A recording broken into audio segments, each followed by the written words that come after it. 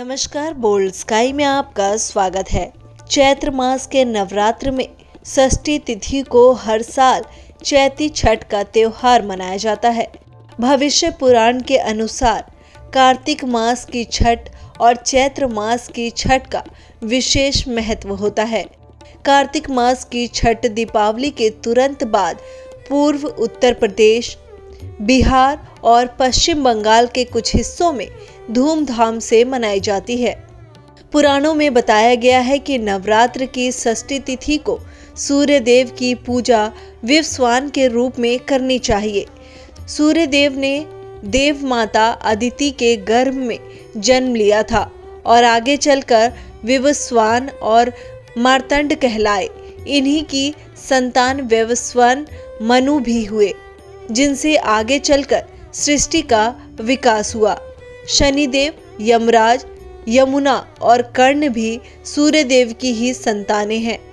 चैत्र नवरात्र की षष्ठी के दिन छठ का मुख्य प्रसाद बनाया जाता है। इसमें ठेकुआ प्रमुख है। प्रसाद और फलों को नई टोकरी में सजाया जाता है। फिर घर में टोकरी की पूजा कर कर सभी व्रती सूर्य को अर्घ देने के लिए तालाब, नदी और घाट पर जाते हैं। फिर वहाँ डूबते सूर्य की पूजा होती है। लेकिन छठ पूजा का भगवान श्री राम से क्या कनेक्शन है? चलिए आपको बताते हैं। छठ से जुड़ी पौराणिक कथाएँ। भगवान राम ने किया था आरंभ एक मान्यता के अनुसार। लंका पर विजय पाने के बाद राम राज्य की स्थापना के दिन कार्तिक शुक्ल पक्ष षष्ठी को भगवान राम और माता सीता ने उपवास किया और सूर्य देव की पूजा की। सप्तमी को सूर्योदय के वक्त फिर से अनुष्ठान कर सूर्य देव से आशीर्वाद प्राप्त किया था। यही परंपरा अब तक चली आ रही है। कर्ण ने भी सूर्य देव की पूजा एक दूसरी मान्यता के अनुसार छठ पूजा की शुरुआत महाभारत काल में हुई थी। सबसे पहले सूर्य पुत्र कर्ण ने सूर्य देव की पूजा शुरू की। कर्ण भगवान सूर्य के परम भक्त थे।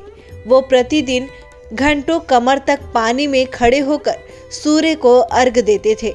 सूर्य की कृपा से ही वो महान योद्धा बने। आज भी छठ में अर्घ दान की यही परंपरा प्रचलित है।